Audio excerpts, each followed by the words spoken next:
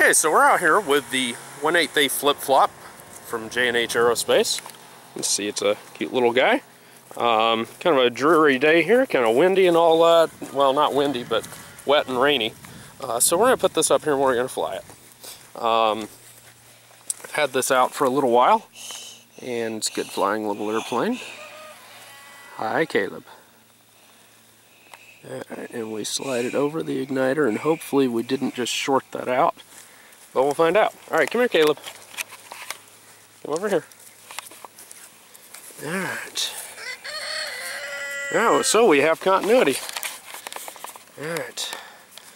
Launch of a flip-flop in five, four, three, two, one. And up it goes. Wings come out. Stalling all over the place. It's still a fun little airplane. Still stalling. because it's wet and rainy. Um, and there it comes in. And I'm losing it. There it is. Still floating around real pretty. And bloop.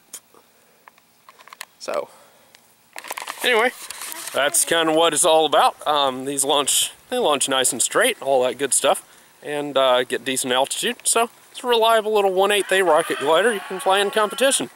So, see y'all later.